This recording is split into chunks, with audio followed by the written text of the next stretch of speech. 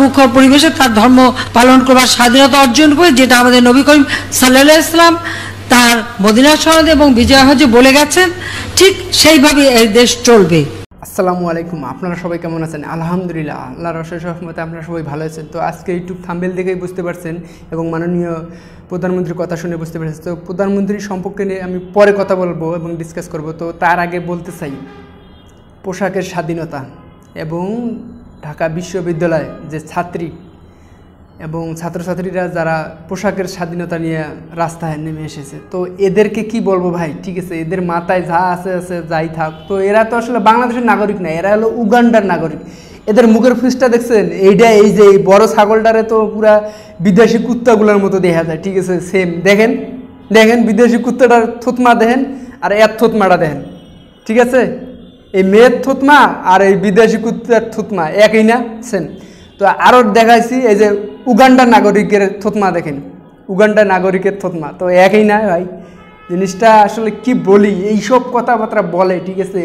ও ওই কি ভুলে গেছে? ওই মেয়ে দাদি নানিরা, যে এদেরকে নিয়ে কথাবার্তা বলছে, এরা যে ব্লাউজ ছাড়া কাপড় পরেছে। হ্যাঁ ঠিকই। এটা সত্য, ব্লাউজ ছাড়া কাপড় পরেছে। তো এ এ মেন্টাল ঠিক আছে? পাগলি। তুই তো তোরা কি বলমু? ঠিক আছে, তখন অভাবে স্বভাব নষ্ট। একটা কথা আছে, গ্রামে একটা কথা এখনও চলিত আছে যে অভাবে স্বভাব নষ্ট। তো এইটাই। তখন ছিল অভাবে। অভাবে মানুষ পড়তে পারে নাই। আরে আমাদের যে নানি, দাদিরা কিসের জন্য কাপড় পরতে পারেনি? তাদের কাছে আমরা ইতিহাস শুনছি। তাদের যে পূর্বপুরুষরা আছে, তারা নাকি মানে ইজ্জত ঢাকার জন্য গাছের পাতা ব্যবহার করতো। আরে পাগলি শুনে নেই আজকে। মাথা ব্রেন তোর কাজ করে না। শালার, এই ধরনের কথাবার্তা শুনলে আমার আসলে ব্রেন কাজ করে না। এদেরকে কি বলা উচিত? একটা ঢাকা বিশ্ববিদ্যালয়ের মধ্যে পড়ুয়া ছাত্রীরা এই ধরনের কথাবার্তা বলে, পোশাকের স্বাধীনতা নাই। এই, তুই যে পোশাক পরছিস, ঠিক আছে? তুই করে বললাম, ঠিক আছে? তুই যে পোশাকটা পরে রাস্তার মধ্যে নামছস, ঠিক আছে? এগুলো দেখলে তো ইয়ং জেনারেশন তাদেরকে তো লোম দাঁড়াইয়া যাবে, ঠিক আছে? তো বেশি কথা বললাম না, ঠিক আছে, প্রিয় ভাইয়েরা। তো আসলে যে একটা ছেলে আঠারো থেকে তিরিশ, কেন আশি, যে ব্লাউজ ছাড়া একটা মেয়ে যদি রাস্তায় বাইরে, এমনিতে এমনি ঢাকা শহরে আজকে আমি উত্তরায় থাকি, ঠিক আছে, তাকানো যায় না। একটা অবস্থা, এমন একটা অবস্থা, ঠিক আছে, মেয়েদের পিছনে তাকানো যায় না। তো আজ কি বলব? তো এগুলো নিয়ে ডিসকাস করলে আসলে আপনারা অন্যরকম ভাববেন। তো আপনারা কমেন্ট করে জানাবেন এদেরকে কি করা উচিত। তো আমি যে বললাম, এদেরকে তো উগান্ডার নাগরিক এদেরকে দিয়ে উগান্ডায় পাঠানোর দরকার ছিল, ঠিক আছে? তো মাননীয় প্রধানমন্ত্রী যদি আমাদের ইসলামিক রাষ্ট্র হিসাবে এটা যে করতো, এ ভাই হিন্দু ভাইয়েরা, ঠিক আছে? আপনাদের কোনো ধর্ম ইয়ের মধ্যে আছে বলে এরকম ব্লাউজ ছাড়া এরকম কাপড়ের স্বাধীনতা এত ছোট ছোট কাপড় পরতে হব? হিন্দু ধর্মরা আপনারা কি জানেন? কখনো কি এই যারা ভালো ধর্ম রিসার্চ করছেন, ঠিক আছে? খ্রিস্টান, ইহুদি এবং ইহুদি দিয়ে বাদ দেয়া, ঠিক আছে? হিন্দুরা, ভাইয়েরা, ঠিক আছে? আপনারা কি জানেন না আপনাদের কি ধর্মের মধ্যে আছে ছোট পোশাক পরা? কখনোই নাই। আমি ভালো করে জানি বিষয়টা, জেনে তো বলতেছি। ঠিক আছে? তো প্রিয় ভাইয়েরা, ঠিক আছে, এই বরিশাল্য মাইয়া একটা, এই প্রতিবাদ জানাইছে, ঠিক আছে? তার কথাগুলো আমার খুবই ভালো লাগছে এবং আমার স্ক্রিনে তার আগে ধৈর্য ধরে আপনারা কয়েকটা আমার কথাবার্তা শোনেন ইম্পর্টেন্ট কথাবার্তা, ঠিক আছে? তো মাননীয় প্রধানমন্ত্রী যে কথাগুলো বলতেছে, ঠিক আছে, এটা নিয়ে কথাবার্তা বলব। তো মাননীয় প্রধানমন্ত্রী, উনি যে বলল যে সৌদি সনদ যেভাবে এবং আমাদের প্রিয় নবী হজরত মোহাম্মদ সাল্লাহ সাল্লাম যেভাবে বলে গেছে বিদেয় হজে ওইভাবে আমাদের রাষ্ট্র চলবে। কি ভাই, এইভাবে চলতেছে আমাদের বাংলাদেশ?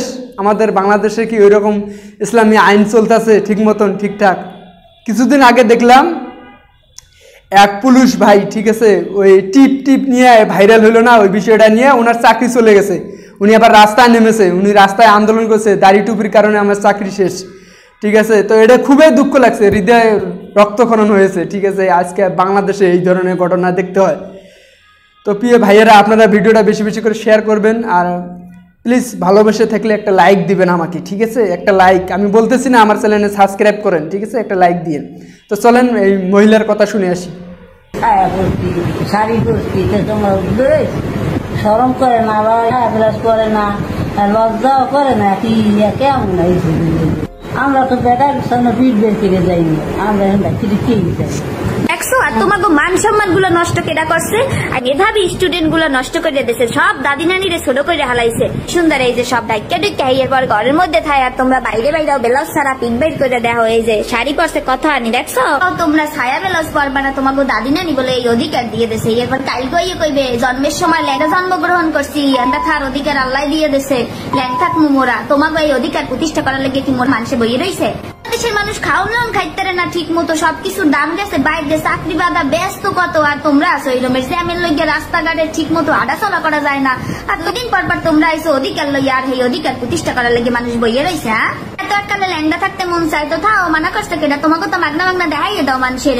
ঢাকা ভার্সিটির মধ্যে একটা ভার্সিটির মান সম্মান নষ্ট করে দাও। ভর্তির সময় এগুলারে কি বাইবা টাইবা নেয় নাকি লিগে? জানে এগুলার মাথায় গোবর নাকি চেক করে লইবে না? ওর তো মনে হয় ঠাডা পড়া গরমের লেগে মনে হয় তোরা জামা কাপড় পরতে চাও না। তোরা দাদি না নিরূপে সব একা চাপাইয়া দিতে চাও। দুই দিন পর পর তোরা জেতা ফইতে লইয়া আও তো গুন্নগুর শুরু করছ না? করছি আলোই মুই কোনো কথাই কমু না। ভাই মোর এসব কথা কওয়া কি মোর দরকার আছে কোনো? কিন্তু জোনা ফেসবুকে ঢুকলে মোর এই সামনে আইয়া এই খেলাই খাই কি করব একটা বাধ্য একখান ক্যামেরা গাতে লইয়া চলে আইয়ে বসছি আর লইয়া লইছি যে যখন এই আইবে, তখন এই সোহের উপরে একালে এই রকমের কই একাল ডাইকে থুই দেব। দেখমু না, কিচ্ছু দেখমু না, জোলা, তোরা একালে অধিকার প্রতিষ্ঠা করতে করতে ঠাডা পড়লে মরে যা।